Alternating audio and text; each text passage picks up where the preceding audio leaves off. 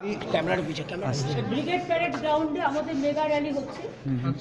এবং আমার মনে হয় জ্যোতিবাবু একবার করেছিলেন উনিশশো সাতাত্তর সালে। সেই সময়টা উনি অনেককেই এত বড় হয়নি বাট অনেককেই আমন্ত্রণ জানিয়ে নিয়ে এসেছিলেন।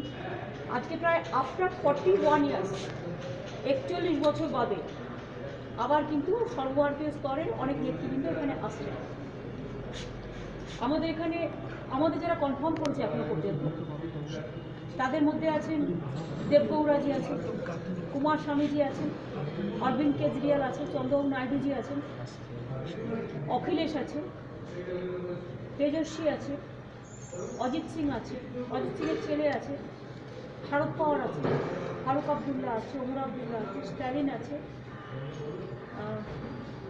শত্রুঘ্ন সিনহা আছে। সিনহা আছে যশবন্ত সিনহা আছে অরুণ শৌরী আছে বাবুলাল মারান্ডি আছে, আছে আছে।